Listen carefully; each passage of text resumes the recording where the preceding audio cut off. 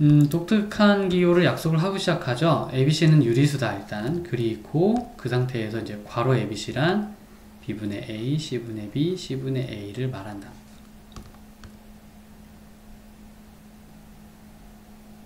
됐죠? 근데 C가 다 밑에 깔리네요. A가 한 번이라도 밑에 깔릴 줄 알았는데 C가 두 번 깔립니다. 그러니까 B분의 A를 하고 그 다음에 C분의 B, C분의 A를 이렇게 두 번 하는 그런 작업이에요. 그러면 3분의 1분의 마이너스 2분의 1을 하고 그 다음에 6분의 1분의 2분의 1, 6분의 1분의 3분의 1을 해라 이런 의미로 해석을 해 볼게요. 이렇게 한번 이렇게 한번 이렇게 됐나요? 어.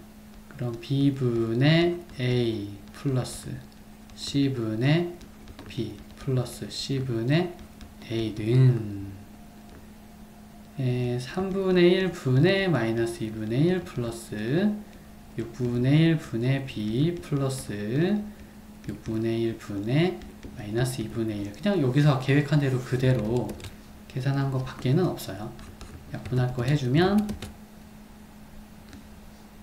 네, 약분할 거 해주면 2분의 x가 남은 것 같고 여긴 2가 남고 x가 남죠 요거는 그럼 마이너스 2분의 3 3분의 6 2분의 마이너스 6 빼기 2분의 3 2 마이너스 3 빼기 1이니까 빼기 2분의 5쯤 나오겠네요. 요거랑 요거는 동요한끼리 계산하면 2분의 3x 플러스 2 그러면 2분의 3x는 넘어가서 마이너스 2분의 9 그러니까 x는 3x는 마이너스 9 x는 빼기 3으로 간단하게 마무리를 할 수 있겠습니다 이제 책에서 제시한 기분이라고 할까요? 주어진 조건이 어떻게 행동하라는 건지만 이해하면 이런 거 계산하는 거는 뭐 큰 생각 없이 룰만 잘 지켜서 내려가면은 금방 끝이 나요.